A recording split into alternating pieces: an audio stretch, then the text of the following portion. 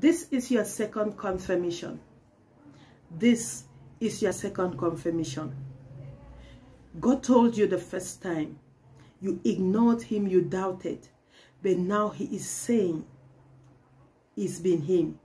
I don't know who I'm talking to. Welcome to Purpose and Marital Bliss with Pastor Honorine. I came here to give someone a confirmation. God gave you an instruction. God told you something. You heard and you pretended like it was your mind. You heard and you acted like you are doubting. Is it God? Is it not God? It's Him. It is God. And guess what? Your obedience to this instruction is opening up the next level of your life. So if you disobey, it is to your own detriment.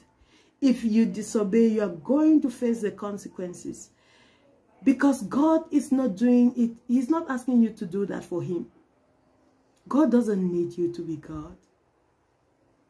He is God all by himself.